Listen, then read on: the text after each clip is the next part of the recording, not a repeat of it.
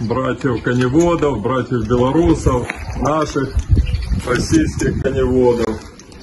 Демонстрирую выездную упряжь. Вот мулы запряжены в линейку параконную. Упряжь вот эта, которую вы видите, покупалась. Была сделана в а, мастерской Казенкина. Хорошая упряжь, добротная. Вот. Все полностью кожано.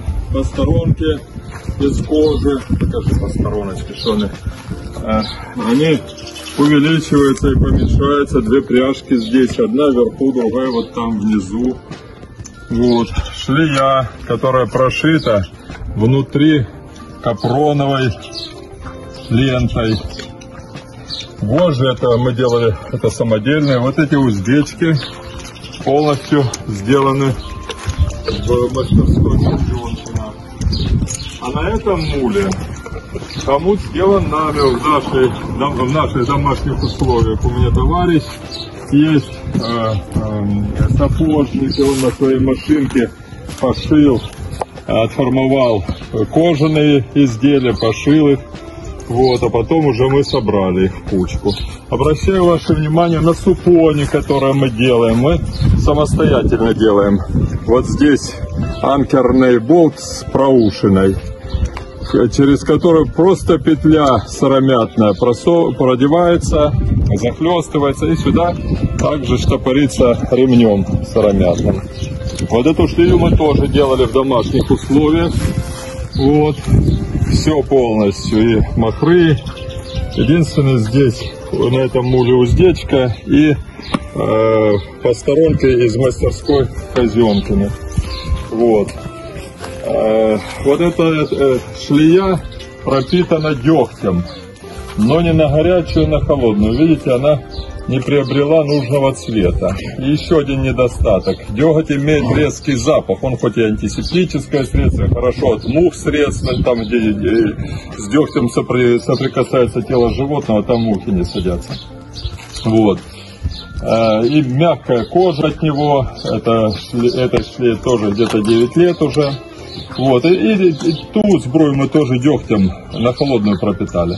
Ну, чем хорошо на горячую пропитывать. Когда мы в горячем дегте а, пропитываем упряжь сыромятную или любую кожаную, даем потом есть течь, потом мы ее в теплой воде с мылом хозяйственным моем, за руки деготь не берется, как вот здесь берется за руки.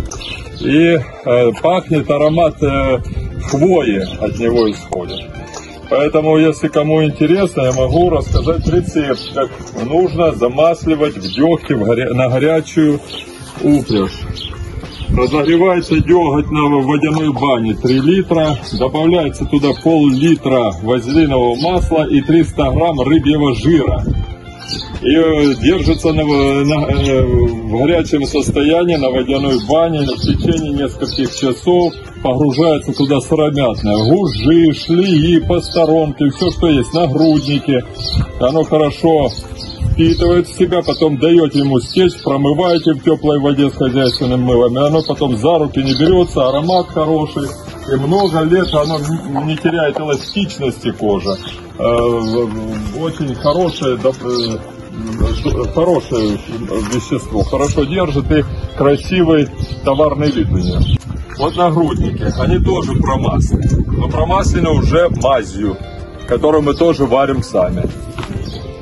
Мы на водяной бане разогреваем вазелин килограмм, туда вливаем э, килограмм вазелина, э, 200 граммов дегтя и 300 граммов воз... э, рыбьего жира. Все это перемешиваем тщательно на горячую, даем застыть и потом можно два раза в году, весной и осенью, мазать упряжь специально. Этой мазью дать ей хорошо высохнуть, потом протираете какой-то тряпицей, оно за руки не берется, э, запах приятный у него, вот, и не пропускает влагу, и э, очень эластичной э, на протяжении многих лет является кожа. Так что если будет полезно, пожалуйста, воспользуйтесь.